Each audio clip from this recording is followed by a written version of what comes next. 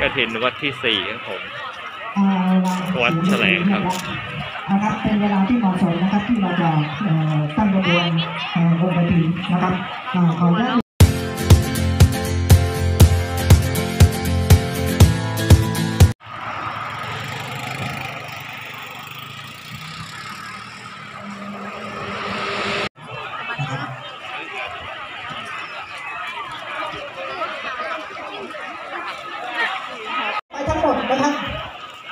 เครื่องเครื่องที่อยู่บนโต๊ะนี้ต้องไปทั้งหมดไปเรียนบททั้งหมดเลยครับ